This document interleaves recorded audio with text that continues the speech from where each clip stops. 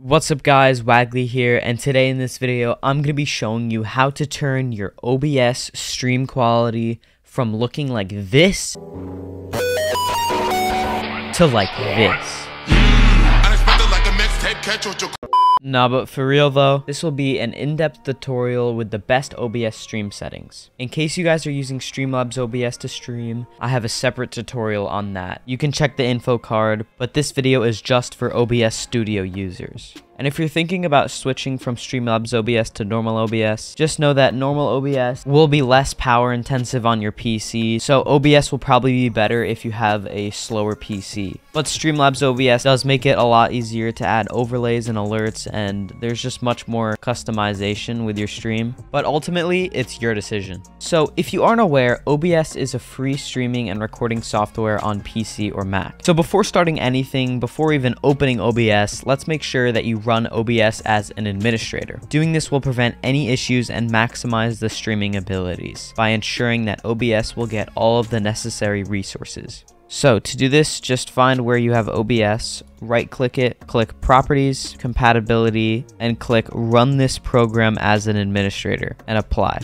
and then okay. So now anytime you open OBS, it'll ask you if you want to allow this app to make changes to your device, just click yes. So down here are the scenes and sources, which I'm not going to be going to in depth in since that could be enough for a whole other video. I'm going to assume that you have a basic understanding of how these work, but in case you don't, basically you can create multiple custom scenes that you can switch between during your streams to have a whole different look. And inside each of the scenes, you can set up sources, which is basically setting up your stream capture or positioning your face cam or adding your microphone or anything else that you do with your stream. Like I have this custom controller here, so when my controller's on, it'll show what movements I'm making on my controller. Like I have a stream starting animation here. Like while I'm getting things up and my stream starting, I can just leave this on here. Now let's get into the main part of the tutorial, which is the best settings for OBS to greatly improve your stream quality. So on the right here, click on settings. Nothing in the general tab will really affect your stream quality, so you can leave these all to default. But if you want, you can change random things like your theme or settings that are more for convenience and not really affecting your stream. In the stream tab, just select the streaming service that you're using. I use YouTube, so I'm just going to select that. And if you're streaming, you can either connect your account or use a stream key. But if there's any reason that you aren't able to connect your account, then you can use a stream key,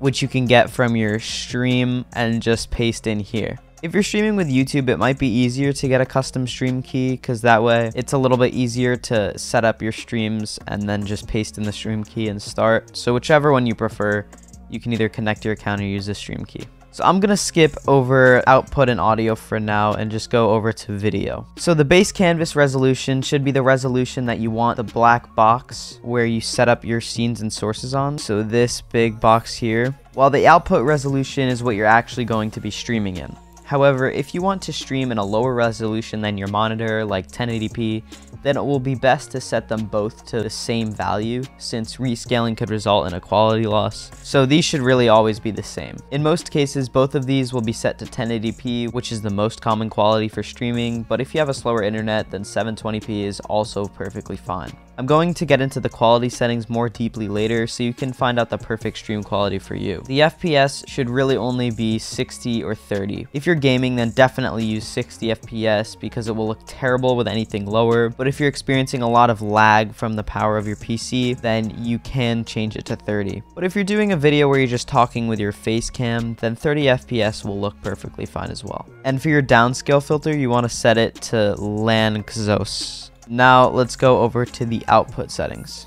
Right away, change this output mode from simple over to advanced to have the most control over your stream. Now, let's choose your bitrate. So you have to go to a website called speedtest.net and find out what your upload speed is. So just click go. So this first speed doesn't really matter. This is your download speed. Just wait till it goes over the upload speed. So mine looks like it's around 33, 34, 35. So my upload speed was 36 megabits per second. Now grab a calculator and multiply this by a thousand and this is just converting this from megabits per second to kilobits per second, which is what the bit rate is in. But you're gonna wanna get rid of around 30% so you can multiply by 0.7 because you wanna save some of your upload speed for any other things that you're doing. Like if other people in your house are using the internet, you're not gonna wanna take up all of it for your stream. So don't use more than 70% of your upload speed. So luckily I have pretty fast internet, so I have around 25,000, which is more than enough for streaming. Now, just remember this number, and if you're streaming to YouTube, then you want to use this quality chart, which I'll have linked in the description. And if you're streaming to Twitch, then you want to use this quality chart, which is also in the description. So just pick the chart that you're going to use for whether you're on Twitch or YouTube, and just look through these values and find the bitrate that you have. For now, don't worry about NVIDIA NVENC or X264. Just look at the bitrate and and the resolution and frame rate. So on Twitch, if you have 6000 bitrate, then you can safely stream at 1080p 60 FPS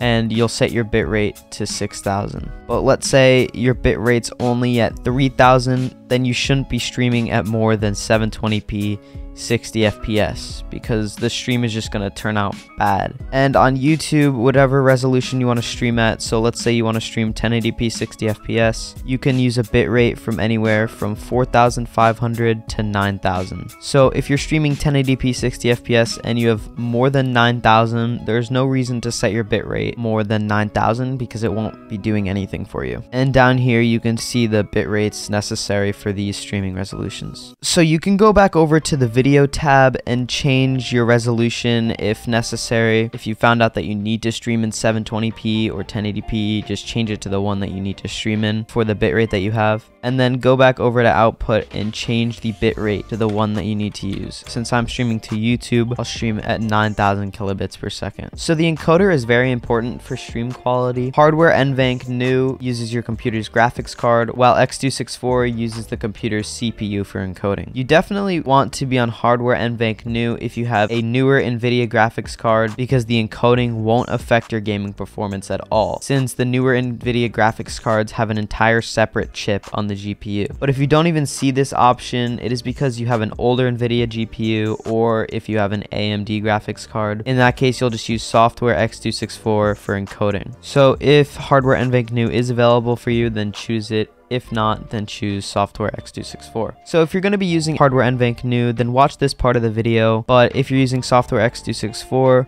then skip to the timestamp on the screen. So for hardware NVENC new, so leaving the keyframe interval at zero is safe because that's auto, or you can put it to two because on the Twitch chart, it recommends putting two for the keyframe interval. So you can put that if you want to, if you're streaming to Twitch or leaving it at zero will be perfectly fine as well. The preset should be set to quality and the profile should be set to high. Make sure look ahead is disabled and psycho visual tuning is enabled. Leave GPU at zero and put max B frames to two. So now if you're streaming with X264, then watch this part now. But if you just filled in the settings for NVENC new, then just skip to the timestamp on the screen because you don't need to watch this. So make sure to leave the rate control on CBR and just fill in the bit rate that you got from the chart. So mine would be 9000. Leave use custom buffer size off. The keyframe interval, it's safe to leave it on zero because that's auto, or you can change it to two because the Twitch chart recommends two, but either of these will be perfectly fine. So for the CPU usage preset, the lower you go on the list, the harder it will be for the CPU,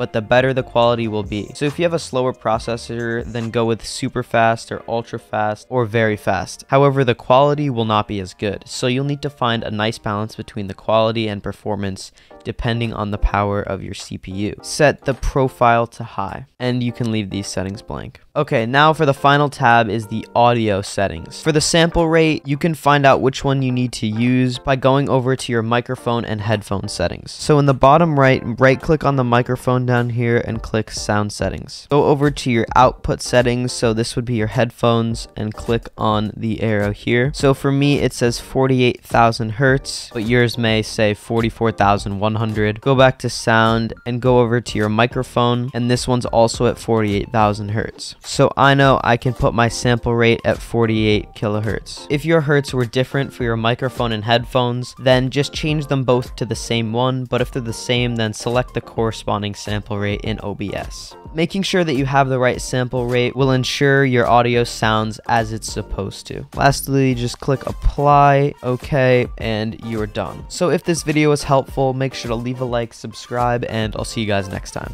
Bye.